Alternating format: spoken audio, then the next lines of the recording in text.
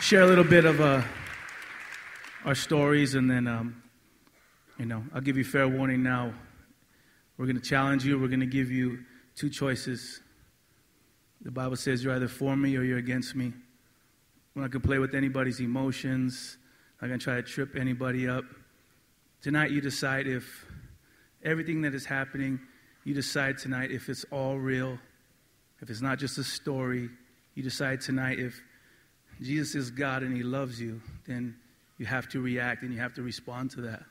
Whether you've never heard it before or whether you've been going to this church or another church your entire life.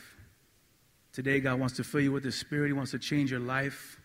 And He wants to change this world upside down using you. So when the time comes, it's either yes or no, okay?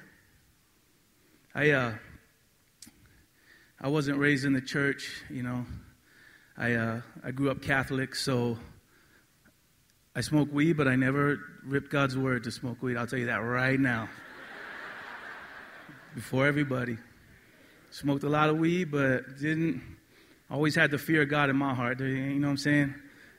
this was the truth. This was the word of God. This was the truth. I wasn't. This was holy. I wasn't. So I just was going to let that be. You know what I mean? But uh, I always respected. Uh, I come from um, my grandmother, and my mother. They were from Italy. I have a grandfather from uh, the island of Guam. For any of you Chamorros in the house, I have. Uh, my grandmother was from Hawaii. My other grandfather was from Mexico. So I'm all mixed up. I'm, I'm a mutt completely, and there's other things added in the mix. And I always had, um, just from my grandmother, and my family, I always had a respect for God. I just never had a relationship with them, you know. It was more of a routine type of thing. I knew that we went to church, uh, you know, right before midnight, and then we were allowed to open up our presents afterwards. You know, we had like a little suit, me and my cousin, and my grandfather got us a suit. And if we went to church, you know, whatever time it was, right after midnight, we got to open our presents, you know or got to go uh, for Easter, you know. It's more of a routine than, than anything, but I always had a love and a, a respect for God. Um, I grew up in a young family. Uh, my uncles and my aunts, just, you know, 14, 15, 16, you know, uh, moms and dads, married young, still doing their thing, partying, uh, selling drugs, getting high, just trying to figure it out. You know, some of you young people just trying to figure it out. You're in that situation, you know. So we watched a lot of things uh, growing up. And um, one day, uh, my uncle, he was separated from my aunt, and he, uh, she kicked him out. Finally, had enough of him, I guess. And he was pretty much living on the streets and bouncing back and forth. Try to keep a long story short, because we're running for time. we're, we're running for time. Okay, so long story short, he's like wandering homeless, ready to kill himself, you know, and uh, he ended up walking into this old theater in San Diego. I'm from San Diego. Uh, it was Horizon Christian Fellowship, Mike MacIntosh's church. Yeah, yeah, man, Mike. And uh, and he walked in there, and the same thing. He just stumbled upon this church sitting in the back of this theater, and uh, at the end of the night, you know, after the truth was given and after the message was given, he was the invite was given to come forward and give his life to the Lord, and he did that. You know, as scared as he was, as high as he was, as frightened as he was, he still, you know, his chest was pounding, and he did that. He picked up whatever courage and strength that he had, and he had his hoodie on, and he walked right down and said, I want to try this Jesus out. And thank God that he did. You know, he went back home. He told my aunt and everybody that he had gotten saved, and I'm sure he called up all his other family and told me he got saved, and they just thought he was crazy. He's probably higher than ever before, you know. And, uh, but he didn't preach to anybody. He just said, You'll see, because God's going to give me back my family. He's going to restore everything that the enemy has ripped off from me. And he did that. He just kept pursuing God, seeking after God, and God started to do a, work in his life. And then, you know, he would do just that. He would give him back my aunt and then my cousin and everybody, just like a little trickle effect. It wasn't this religious thing, it was life changed. It wasn't some guy just preaching at us telling us we had to get our lives right because he was a wreck himself. But God had transformed his life, and it was evident. We could see that. And one by one, you know, just the family started, God just started picking them off one by one. Um, and my mom got saved. You know, I have two uh, stepsisters. And, uh, you know, I was just doing my thing with my friends too, getting high and stuff. And my, uh, when I was a teenager, my mom got diagnosed with leukemia. And I remember when she got diagnosed, I remember sitting at the hospital and, you know, when the doctor gave us the news and she was bawling her eyes out and she said, you know, what, what did I do? And the doctor said, nothing. You, just, it just happens, you know. And she went through her remission and chemotherapy, all that stuff. And through all that, I just continued to see the love of God. Like, here's this woman dying, but she still has the joy of the Lord, you know, in her life. While I'm still continuing to do my thing with my friends and, and run around and just kind of toy around with this respect that I have for God, but never really having a relationship with Him. And, um, you know, long story short, she gets sick again and um, ends up going back to the hospital you know. But just right before that, I remember I came home one time and uh, I was high and I was trying to, you know, sneak past, you know, just do that that quiet, you know, nonchalant walk to my room, you know, try to pass everybody up so nobody knows. And remember, she was sitting by my room, and uh, she was sitting there, and she used to wear this cowboy hat with like a little wig, you know, because she didn't have no hair. and uh, she was sitting there, so I couldn't get past her. And, and she said, "Son, you know, I just I'm worried about you. Uh, you've lost that, you know, just that love inside you, just your heart and your mind. And, you know, she just kind of called me out. She challenged me. And she said, Son, when I die, I want to know that you and your sisters are going to be in heaven with me. And I said, Mom, don't, don't talk like that. And she said, No, son, when I die, I need to know that you and your sisters are going to be in heaven with me. I said, Yeah, Mom, cool. You know, what, what do you want me to do? He said, Come to Harvest Crusade with me. It is in San Diego. Harvest Crusade, and I was like, I just, you know, I just wanted to please her heart. I went, like, yeah, I'll, I'll, do whatever you want, whatever makes you happy, I'll do it. Went to Harvest Crusade. It was amazing. It was awesome. It wasn't necessary for me, and nothing changed. You know, I just wanted to please my mom.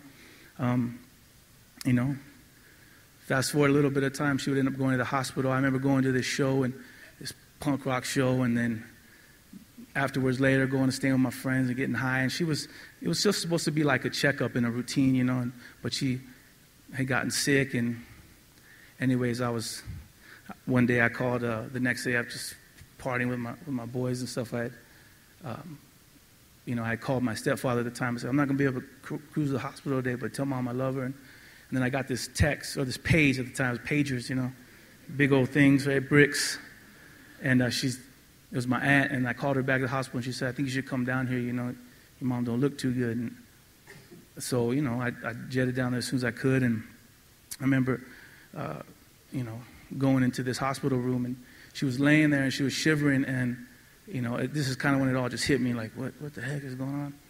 And I went in, and, um, you know, I went to go see what was going on, and she, you know, she was shaking, her teeth was rattling, and she said, um, she said, hi, son and that would be the the last time I'd ever hear her voice, you know. I stayed there all week, all week long, trying to figure out slowly but surely she'd go, just, you know, would be out of it, except she could hear you. The doctor was tell us, well, she could hear you, she could understand, you know, the, the heart, the mind. For a week, you know, I remember just sitting in this, in this hospital bed for a week, and, and at this time, the doctor would come in every night, and say, just be prepared because she's probably going to go, you know, by morning time. And then he'd come back in the morning of the day, you know, just, well, be ready because she's probably going to go today. And he did this all week long. And in the meantime, we have family flying in, you know, from everywhere. My mom was a very loved person. And, uh, you know, then one day towards the end of the week, the doctor ends up coming in and he says, you know, it's not a medical term or, you know, this is not one for the books, but what we call this here at the hospital is, um, is mother's heart. And he said, the reason why, you know, your, this, this woman won't die, her body won't let go, is because it's pretty much controlled by the heart, you know. And she said, he said, the doctor said that she doesn't want to leave her children behind. And I remember, it's like God, he was just speaking to me, and I instantly, you know, you get those flashbacks. His flashback to this time when she's telling me all this was going to happen, and it was like, and this confusion and this anger, everything, you know. Here I am confused, and my mom seems like she's got it all figured out, and I'm the one that's bitter. I'm the one that's mad. I'm the one that's angry and confused. And finally, when I went out, my family made me go clean up and finally leave the hospital for the first time in the week, go get cleaned up. And I was in the parking lot, and I think I might have said my first big boy prayer for the first time, you know. And I just I cried out to God. I said, God, I, you know, if you take my mom, either I'm going to be, you know, I'm either going to lose it, I'm going to hurt somebody, hurt myself, I don't know what I'm going to do, but, you know, I, I, need, my, I need her Jesus. I don't want the world's Jesus. I, I want her Jesus. And I said, God, if you can forgive me for my sins, please do. I don't need anybody to tell me I'm a sinner because I know that. That's, that's, that's not headline news. I know that I'm, you know, not worthy and, and what I do is wrong. But if you can take that away, come into my life and make me like my mom. I want that peace. I want that joy. And if you can do that, then I'll, I'll follow you. I'll serve you. And I believe God did that at that moment. I believe He forgave me my sins. He came into my heart. He didn't give me religion. He gave me a one-on-one VIP access to the kingdom of heaven right then and there. And when I went home, I cleaned up. I went back. I whispered into my mom's ears. I said, "Go, go ahead and be with Jesus now, because, you know, me and the girls were going to be all right." And it wasn't but some short time after that, you know, that she would take her last breath and then go and be with the Lord.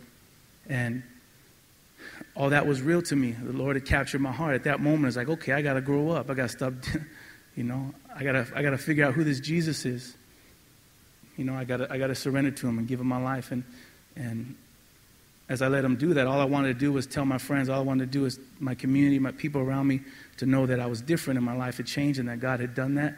And somehow I ended up in a band that I never wanted, never ever thought of being in or even had a desire to pick up a microphone and do anything like that. I didn't even listen to that kind of music. I was more into like reggae music and hip hop and wasn't even really my thing. But I thought, you know what, people listen. I listen to music. I love music. You know, I'm going to these shows. I'm, you know, my friends are listening. Maybe they'll see that I can scream these things and tell them that God loves them, you know? And, it, and through that, it just, I think God always honored that, that heart of just wanting to go out and see the world, you know, get saved. I have a big heart for young people. I don't want to see them get lied to and manipulated by the world and by the enemy. I want to see them have that peace and that just that forgiveness that only God can do, you know. And and God did that. He allowed me to be in this band.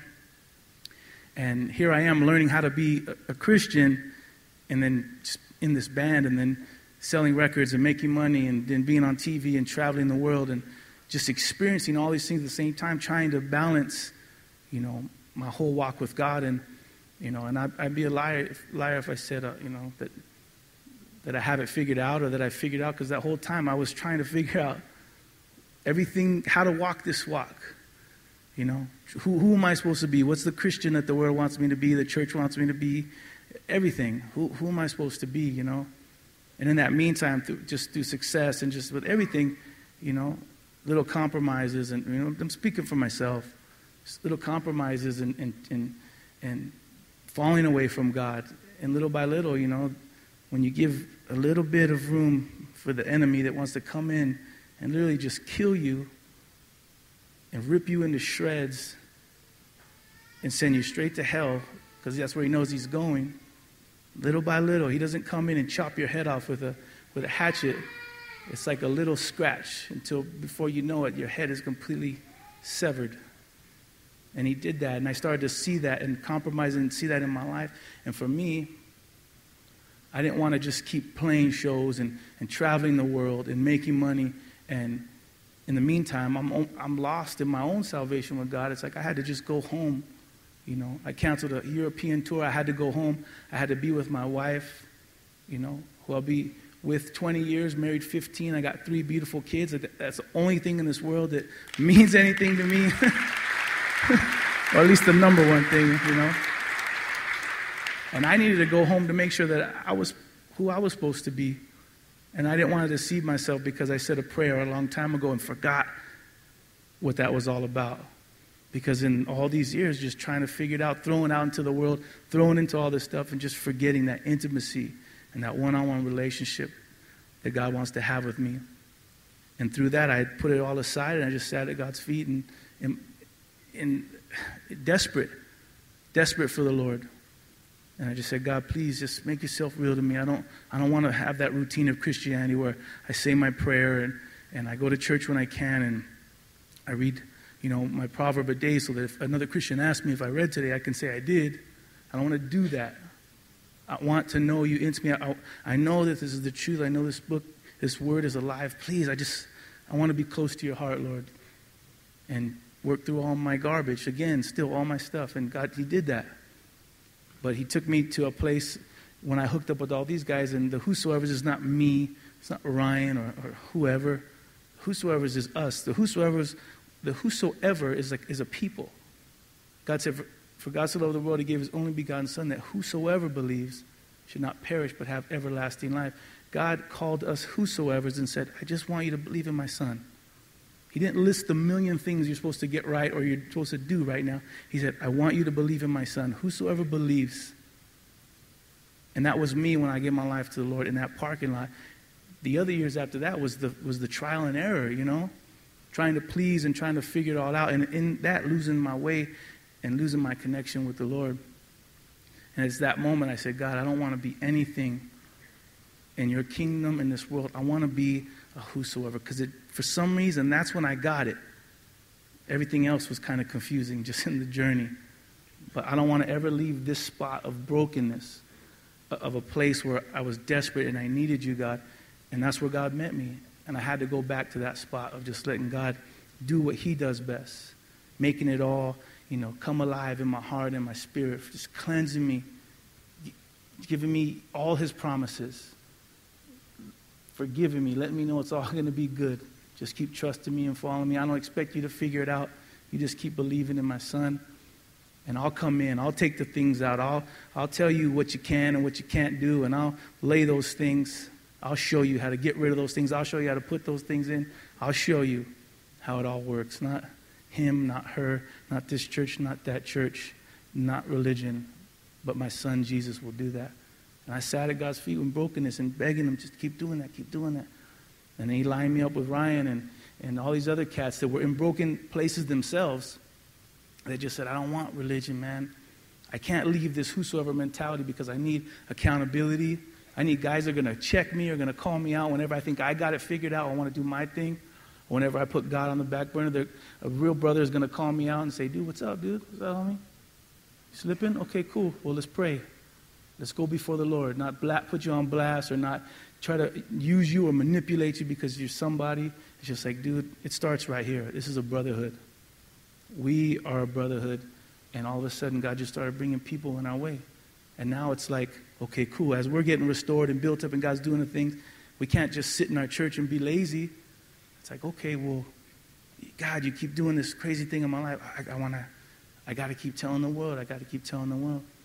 And as much as I've been around the world and looked into the faces of young people around, you know, you see good and evil. You see the enemy coming in and ripping our kids off and, and, and, and making slaves out of them and using religion and using just everything that's out there to manipulate them so that he can rip them off.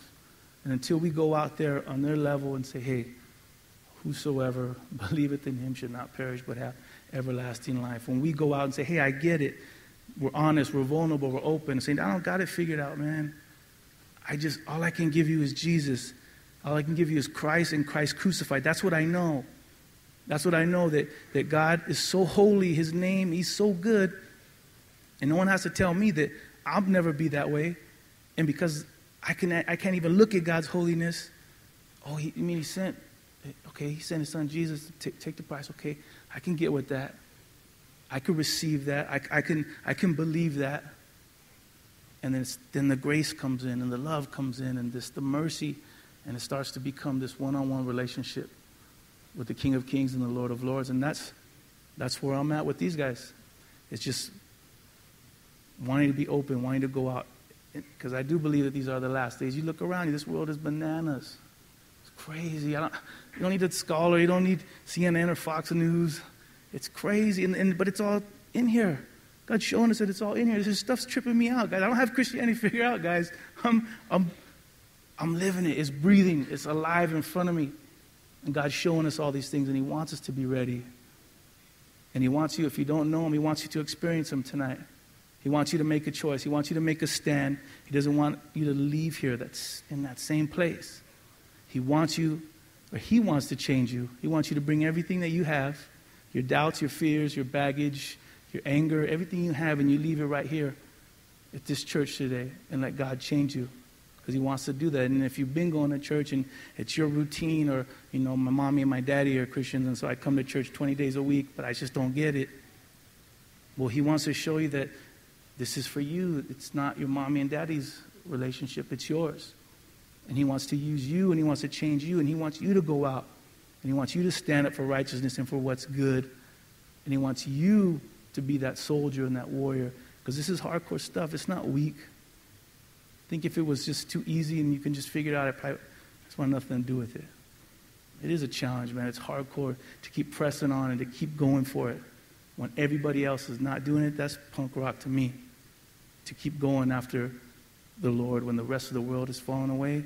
I'm not following the rest of the world. I'm following straight after His majesty.